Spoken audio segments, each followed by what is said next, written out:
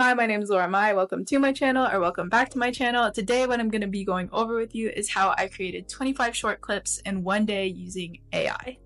And the programs that you'll need for this are either Riverside or CapCut. I would prefer CapCut, and that's only because Riverside, you can only get the magic clips if you have a video over five minutes. But I'm going to run through with you exactly how I created these 25 videos from long form content so that way you can do the same. Okay, so without further ado, let's get into it. I'm just going to share my screen. Whoa, that's kind of meta. All right. So the first thing that I'm going to do is I'm going to go into CapCut. And you can see I'm in the desktop version. What you need to do is have the desktop version. I don't think that they have this on the browser version yet or on the phone version, but you just click AI Clip Shorts. You add in a video. Let's just use a random podcast episode that I've recently done. So the setting that I like to choose is 60 seconds or less. And the reason for that is that shorter videos tend to have better watch through rate. So you can use it on different platforms as well. Basically, if you are looking to optimize like every video, it's better to keep it shorter unless it just happens to be a really engaging story that needs to go over 60 seconds. But in general, less than 60 seconds is going to be your sweet spot for attention span and for getting better views on the algorithm. So you just click generate shorts and it'll upload. It'll take 10 years, but we'll get there eventually. Okay, so it took about 20 minutes for these clips to generate. This was a 30 minute episode and there was an intro. So these ones kind Looking of back to the year past. I, rem- I remember sitting. So it's been about 20 minutes since I put this through CapCut and it's completely done. It took not that long. I was. It took 20 minutes for these clips to generate. So it generated 20 shorts. The first three aren't usable because they're all from the intro, so they're not formatted correctly. So these I've just looked through some of the clips. It took about 20 minutes for it to generate 20 different shorts. For the 25 that I created in one day, they were created off of about 20 or no, five eight minute videos. So it was also around like 40 minutes of footage, but there were different stories within each of them. So you're going to get a different bang for your buck in each video depending on the emotional highlights of the video. The thing that I've noticed about AI is it's really good at finding like the beginning points of somewhere or the actual emotional elements, but you do still have to edit it. So we're gonna watch this clip. I've already changed the captions because I normally don't like the captions that they choose. Like this changed. I like the ones that highlight the words because I just find them more engaging. When you make animations and when you make short form content, it's kind of important to people get people's attention and normally you need to change something every two seconds. So there you go. I that's why I like these captions better. They're just another way to keep people engaged. But I'm gonna hit edit now and it's gonna open up another file. So this is the full file on the desktop version. And like I said, there was part of this clip that was usable. I think what what you want to focus on is the hook retain reward strategy. And if you don't know about this, so now we're going to talk about the hook retain reward format again is from 100 million dollar leads. I definitely recommend reading that book. I'm going over the content portions of it and adding some other things that i know as well but alex Hormozi, amazing person. Definitely go check that out so starting with the hook, this is probably the most important part of your entire video because if you don't get the hook right in the first three to five seconds, no one's watching your video. It's really similar to paid ads where once your headline is written, that's 80% of your advertising dollar spent.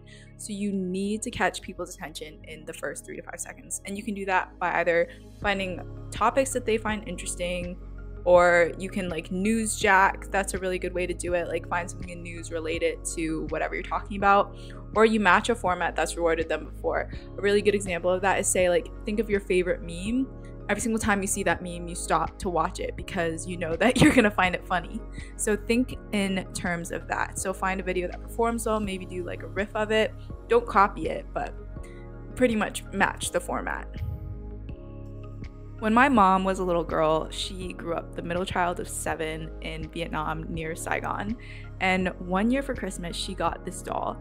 And this doll was so beautiful. She grew up in a wealthy family, but they were the type of family that was like, oh, if you want to go play, go get a stick. So when she got this doll, she was so excited, but it was so nice that her parents wouldn't let her play with it. And they put it on a shelf. So every single day she was looking at this doll, right? And she looked at the doll day in, day out, watched it sit there until one day her uncle came home. He threw both of her brothers over his shoulder and then he said, Come on, guys, we gotta go. Everyone got in the car and they left Vietnam. Saigon fell three days later, but the last thing that my mom saw when she was looking out the window of her uncle's car was the doll on the shelf, looking as beautiful as ever.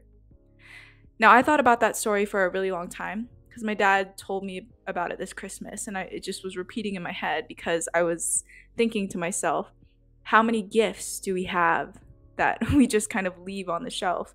Obviously, she didn't have a choice. Her parents kind of didn't let her play with it. But there are so many opportunities and gifts in this world, skills that we have that we're not using. So, how can you use those gifts? How can you keep on going, etc. And my point in telling that story is just to show you that within content, you need to be able to retain people's attention. People overcomplicate virality, but really it's click through rate times watch time. So you need people to watch the entirety of your content.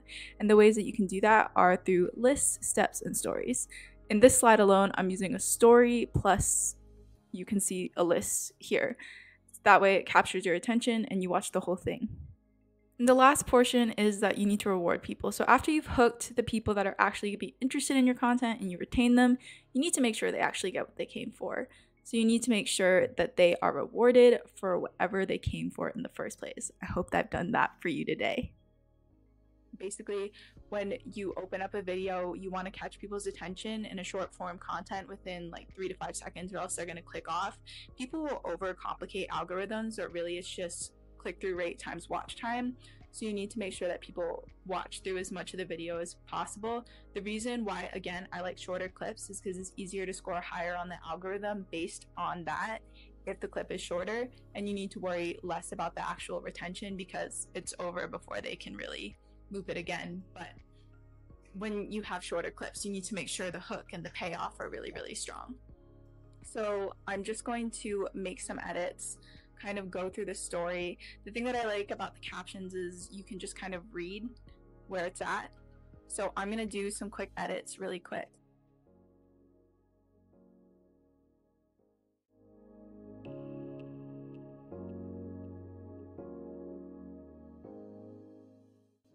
started to take it more serious and I've hired coaches, I've taken courses, I've done a lot of consulting to learn the trade, learn the mm-hmm. skill of social media marketing.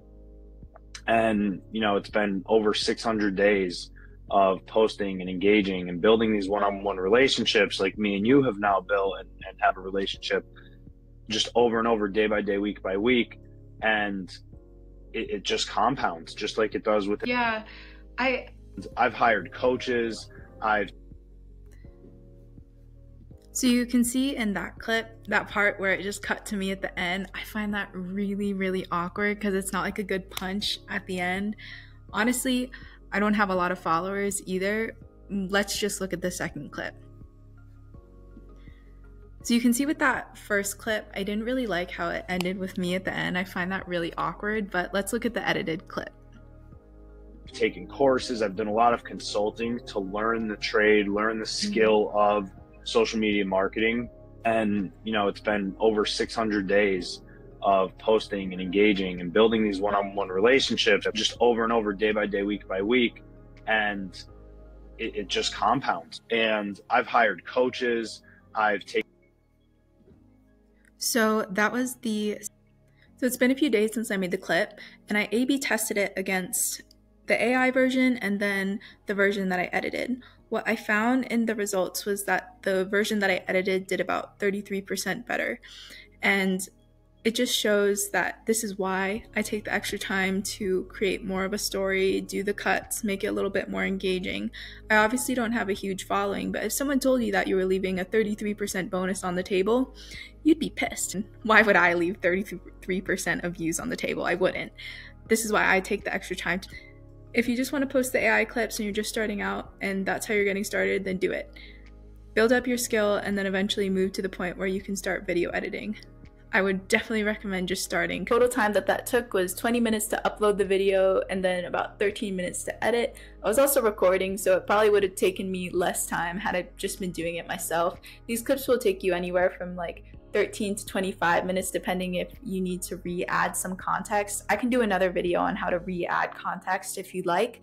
If you have any questions, feel free to reach out to me on LinkedIn or Instagram or in the comments below. I'll be looking at those as well if you want to start your own podcast as well, I have a video on how to do that if you're interested in how I do this these podcasts in the first place on the cheap and easy side, then check out the video in the description link. All my socials will be there as well and make sure that you follow me if you want more education on content marketing. Okay, have a good one. Cheers.